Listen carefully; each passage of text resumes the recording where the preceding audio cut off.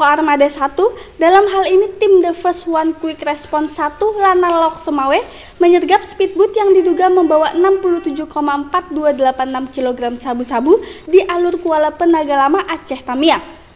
Panglima Koarmada 1 Laksamana Muda TNI Yudo Margono mengatakan bahwa keberhasilan tersebut sebagai komitmen TNI AL khususnya Koarmada 1 untuk membantu program pemerintah demi memberantas peredaran narkoba yang semakin marak di tanah air.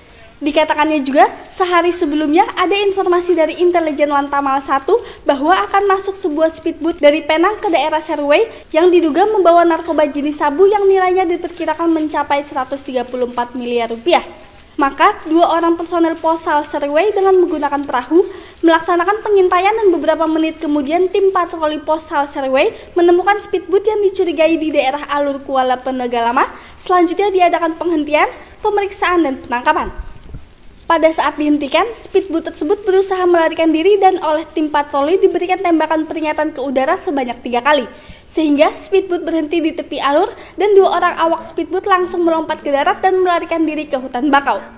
Selanjutnya, speedboat beserta barang berupa tas besar yang ada di dalam speedboat ditarik dan diamankan ke Posal Serwai guna proses lebih lanjut. Kemudian, barang bukti yang diamankan berupa speedboat terbuat dari kayu lapis fiberglass warna hijau les merah putih dengan mesin tempel 200 PK merek Yamaha, dua tas besar yang diduga berisi narkoba jenis sabu sebanyak 62 bungkus kemasan diamankan dan dijaga ketat di kantor Pemalan Tamal 1. Ini narkoba, namun dari bentuknya e, narkoba kemudian kita bawa ke Belawan, kita panggilkan BNN ya, yang menangani masalah yang spesial uh, apa uh, dilaksanakan tester oleh tim dari BNN dan ternyata uh, benar ini adalah sabu-sabu uh, dengan kualitas yang super. Ya jadi kualitas super. Ya, ini sudah dilaksanakan pengetesan tadi ya ternyata kualitas super. Uh, sejumlah 67,4 28 kg.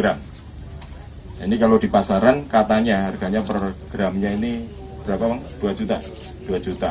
Sehingga kalau ini di total sampai terjual itu sampai seharga 134 miliar.